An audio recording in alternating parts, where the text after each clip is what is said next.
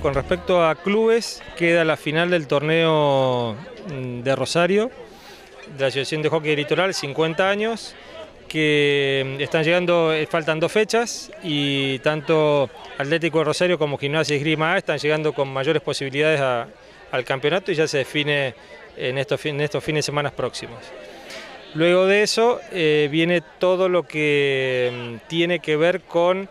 eh, una copa sobre fin de año que se llama Copa 120 aniversario del Banco Municipal de Rosario, en donde compiten los mejores del Litoral A, los mejores ocho en todas las divisiones, y después del Litoral B ya es más complejo porque ahí hay ascensos, descensos, pero la idea es que eh, se juegue un torneo a playoff, Copa 120 aniversario.